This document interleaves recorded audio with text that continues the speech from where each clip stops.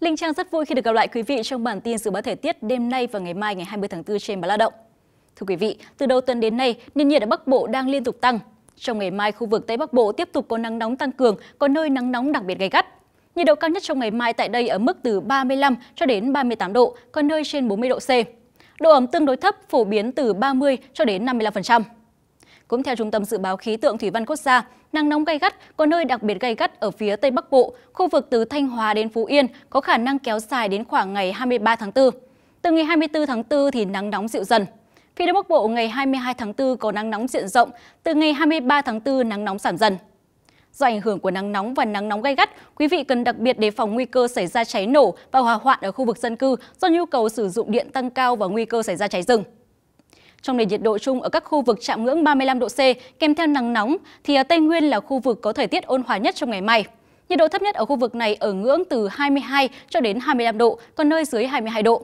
Chiều tối và đêm có mưa rào và rông vài nơi. Tuy vậy trong ngày một số tỉnh thành vẫn có thể chạm ngưỡng nhiệt từ 31 cho đến 34 độ C, trời nắng. Và dưới đây sẽ là thông tin chi tiết.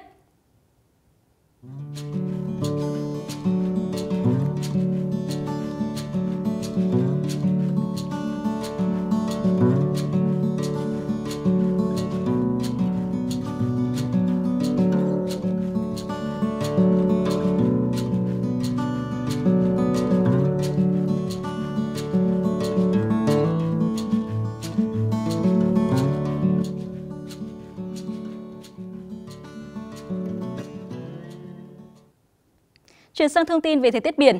Trong đêm nay và ngày mai, quần đảo Hoàng Sa có gió Nam đến Tây Nam cấp 4, cấp 5, sóng cao từ 1 cho đến 2,5 mét. Trong khi đó, khu vực quần đảo Trường Sa không mưa, gió nhẹ, sóng cao từ 0,5 cho đến 1,5 mét. Còn đối với thủ đô Hà Nội, thời tiết ngày mai thấp hơn nhìn nhiệt độ chung ở Bắc Bộ từ 1 cho đến 2 độ C. Ban ngày trời nắng, có mây, đêm không mưa, gió Đông Nam cấp 2, cấp 3, nhiệt độ dao động phổ biến từ 25 cho đến 34 độ C. Thông tin vừa rồi cũng đã khép lại bản tin dự báo thời tiết ngày hôm nay của báo Lao động. Hẹn gặp lại quý vị trong những chương trình sau.